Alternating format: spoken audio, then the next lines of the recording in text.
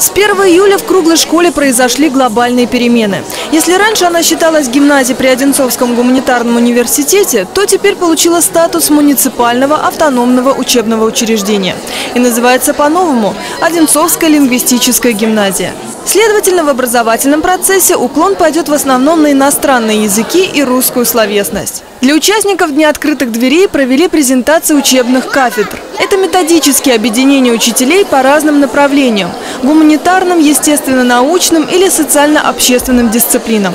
Таким образом, проще обмениваться профессиональным опытом, легче организовывать, планировать, делать выводы и анализировать работу учебного коллектива. Учеба – это труд, но, как говорится, э, учиться надо весело, чтобы хорошо учиться. И песенка в дороге пригодится. Поэтому мы стараемся ну, сделать наши уроки более творческими, веселыми. Но, безусловно, все знания академические мы даем. Мы учим и читать, и писать, и решать задачи. Но самое главное, мы учим любить Родину. Поэтому вот я тоже вношу свою лепту, надеюсь. Первостепенная задача у педагогов – высококлассная подготовка старшеклассников. И прошлый учебный год тому показатель. 31 медалист, 43% выпускников с результатом по ЕГЭ выше 90 баллов. Больше половины ребят поступили на бюджетные места в вузы. Уже второй год подряд учащиеся занимают первое место в районной спартакиаде.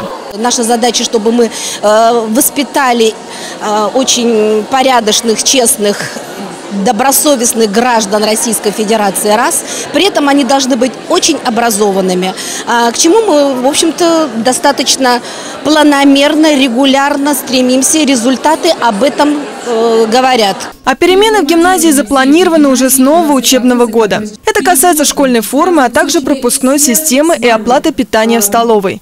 Теперь, чтобы попасть в родную школу или позавтракать, достаточно будет приложить руку к специальному терминалу. Он определит отпечаток и спишет определенное количество средств со счета родителей. Пропуск и кошелек всегда под рукой, причем в буквальном смысле слова. Как уверяют руководители учебного заведения, смена статуса никак не повлияет на качество образования, а наоборот выведет его на новый уровень. Взять с собой в багаж планируется только лучшие педагогические наработки, а главное – традиции.